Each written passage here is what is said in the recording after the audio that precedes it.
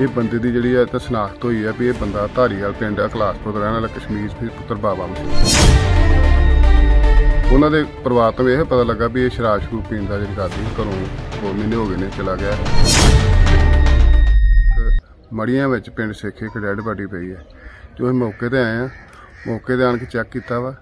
ਇਹ ਬੰਦੇ ਦੀ ਜਿਹੜੀ ਹੈ ਤਾਂ ਸ਼ਨਾਖਤ ਹੋਈ ਹੈ ਵੀ ਇਹ ਬੰਦਾ ਧਾਰੀਵਾਲ ਪਿੰਡ ਆ ਕਲਾਸਪੁਰ ਦਾ ਰਹਿਣ ਵਾਲਾ ਕਸ਼ਮੀਰ ਫਿਰ ਪੁੱਤਰ ਬਾਬਾ ਮਸੀਹ ਇਹਦੇ ਵਾਰਸਾਂ ਨੂੰ ਬੁਲਾਇਆ ਆਉਣ ਤੇ ਫਿਰ ਵੇਖਾਂਗੇ ਜਿਹੜੀ ਕਾਰਵਾਈ ਹੋਏਗਾ ਕੁਛ ਕੋਈ ਕੋਈ ਜ਼ਖਮ ਹੋਇਆ ਹੋਏ ਚਾਹੇ ਕੋਈ ਕਾਰਨ ਕਿਸ ਤਰ੍ਹਾਂ ਦਾ ਕੋਈ ਸਾਹਮਣੇ ਆਇਆ?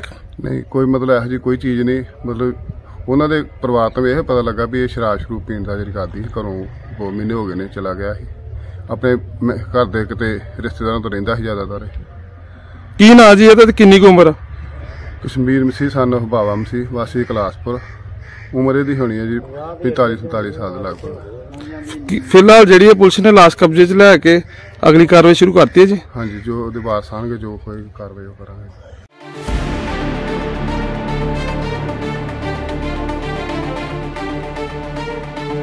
ਇਹ ਬੰਦੇ ਦੀ ਜਿਹੜੀ ਹੈ ਤਾਂ ਸ਼ਨਾਖਤ ਹੋਈ ਹੈ ਵੀ ਇਹ ਬੰਦਾ ਧਾਰੀਵਾਲ ਪਿੰਡ ਆ ਦਾ ਰਹਿਣ ਵਾਲਾ, ਕਸ਼ਮੀਰ ਫਿਰ ਪੁੱਤਰ ਬਾਬਾ ਮਸੀਹ। ਉਹਨਾਂ ਦੇ ਪਰਿਵਾਰ ਤੋਂ ਇਹ ਪਤਾ ਲੱਗਾ ਵੀ ਇਹ ਸ਼ਰਾਬ ਸ਼ਰੂਬ ਪੀਣ ਦਾ ਜਿਹੜੀ ਕਰਦੀ ਘਰੋਂ ਦੋ ਮਹੀਨੇ ਹੋ ਗਏ ਨੇ ਚਲਾ ਗਿਆ।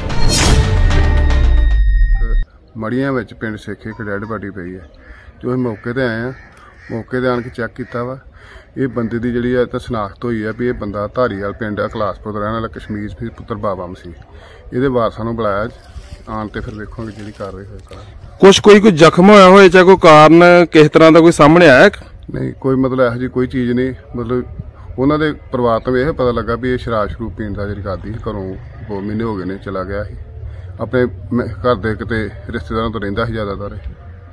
ਕੀ ਨਾਂ ਜੀ ਇਹਦਾ ਤੇ ਕਿੰਨੀ ਕੁ ਉਮਰ ਆ?